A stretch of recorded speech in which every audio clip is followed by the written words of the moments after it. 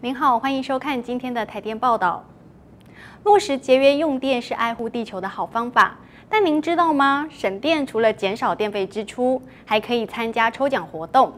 邀请住宅用户一起来参与。今年更扩大举办了网络有奖征答，您只要上网阅读节约用电的方法，并答对省电相关的问题，就有机会获得最高十万元的奖金和智慧型手机等好礼。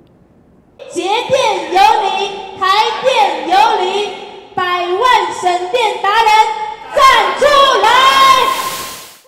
省电不止爱地球，省荷包，还可以参加抽奖活动哦！只要您七八月份的用电比去年同期省了百分之十以上，或是参加网络有奖征答，并且写下您的省电心得，就可以参加抽奖活动，有机会抱回智慧型手机、平板电脑或最高十万元的奖金。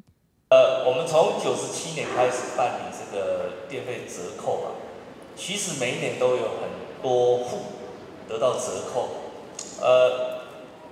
呃，去呃以去年来说，大概就有三百万户左右啊。但是我们晓得啊，这几年下来，这三百万户里面呢，很多都是因为家庭人口移动，可能是呃出国啦，或者什么原因呐，产生的这个。这个节电效果，这不是真的节电效果啊！所以我们就想要奖励真正哦有省呃节能省电的哦实时的用户，我们来奖励他。那我们就就想到，就是说来办一个啊连续，就是有别于奖励措施的，是连续两年，而且第二年又比第一前一年哈，就是再省百分之十的这些用户。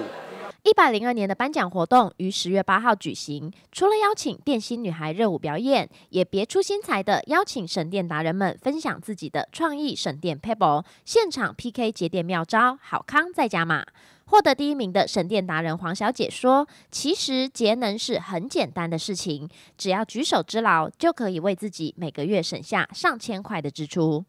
哎，今天非常的高兴得到这个大奖，而且是我人生的大奖，而且这个做起来很不费事的，就是从你日常的生活当中，然后没有想到说，因为我本身自己也是很环保的，呃，我也就是呃喜欢骑脚踏车散步，我也走楼梯，我不坐电梯，然后家里的冷气嘞，我也是维持在大概二十六度，我一个晚上大概吹两个小时，其实这样子的话对皮肤也很好，不不至于太干燥。那嗯，以后我还是会再持续做下去。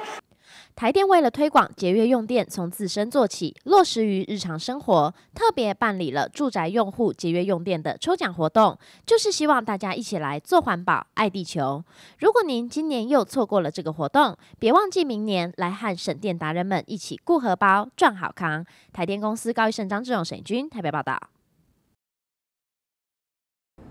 这里是台电影音网，感谢您今天的收看，我们下周再会。